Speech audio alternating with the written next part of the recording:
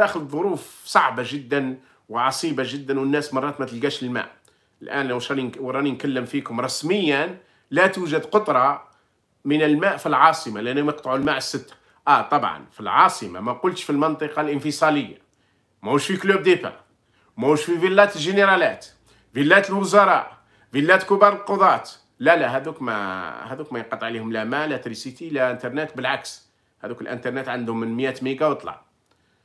سمعت اليوم في خبر قال لك أنه تفاجأ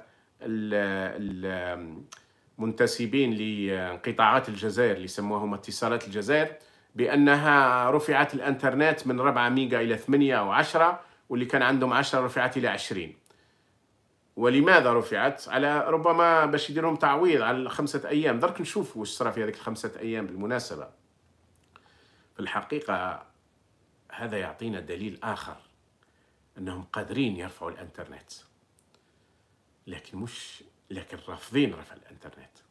باش يوصل لك لايف مثل هذا تتعذب معاه. وما تقدرش تواصله.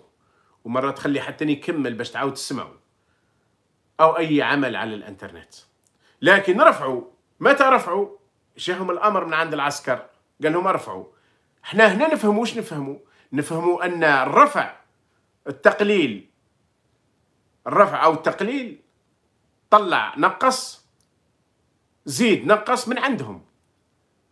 باش ما يقولكش الانترنت والانفراستركتير هذا كله كلام فارغ. آه موجود الانفراستركتير ومشاكلها معروفة. لكن الانترنت هي لعبة في يد المخابرات الإرهابية وهي اللي تعطي التعليمات وتقول لهم خلوها في أضعف حالاتها. لو كان لو كان راهم متأكدين باللي الانترنت في الجزائر تستخدم برك في مواقع الفساد في مواقع اللي راكم عارفينها آه ما عندهمش مشكل يزيدوا لك. والله يزيدوا لك قاع. ماذا بهم الناس تغرق. تغرق في مواقع الفساد تغرق في المخدرات تغرق في الخمور وتغرق في كل شيء. لكن بما أن الانترنت عندها أيضا هي كالسكين عنده وجهين بما أن الانترنت عندها أيضا الجانب الإيجابي وهو التوعوي وهو الإخباري وهو وصول الأفكار ووصول العلم ووصول المعلومات و... آه لا. يلا سكر على الجميع.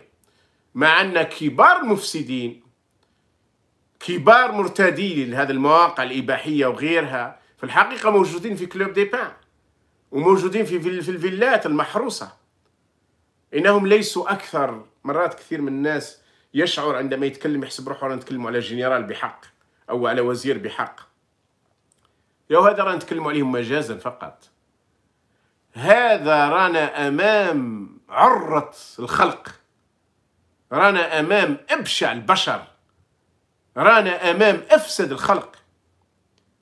اليوم أحد الأفاضل بعث لي آه تفاصيل على موقع أو جهة تسمى Nexus وكانت تشرف على Miss Algeria. راكم شفتوها لعل البعض منكم كان يتابعها السنوات الماضية.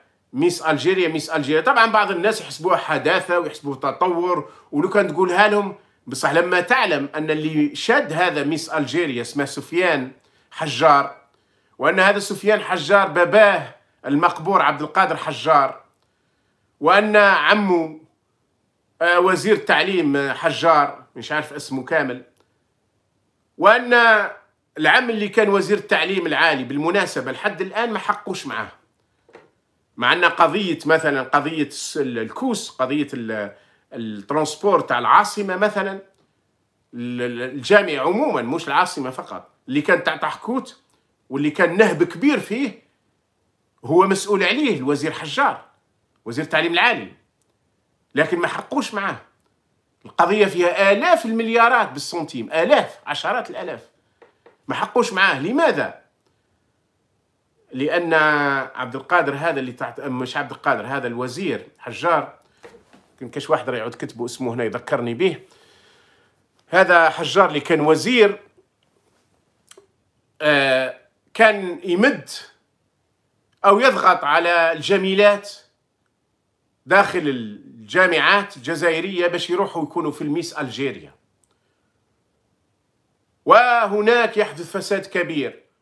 ومن هناك تقوم هذه الشركة ابن تاع سفيان حجار اللي باباه كان عبد القادر حجار أحد كبار المفسدين اعرفه شخصيا لما كان سفير في ليبيا ثم أصبح يأتي ليبيا لما كنت هناك. أنا اذا يقومون بتقديم بكل أسف وألم اقولها لكم بنات العائلات وبنات الجزائريين يقدموهم كهدايا لكبار المسؤولين ولكبار الوزراء ولكبار الجنرالات. طبعا عبر المرور نتاع ما يسمى بميس ألجيريا ومانيش عارف إلى آخره.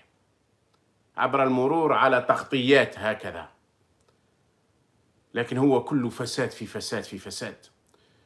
ولذلك لحد الآن هذا حجار ما طالبوش ولا بأن يحضر جلسة واحدة وهو متورط في فساد مالي وأخلاقي عارم. عارم.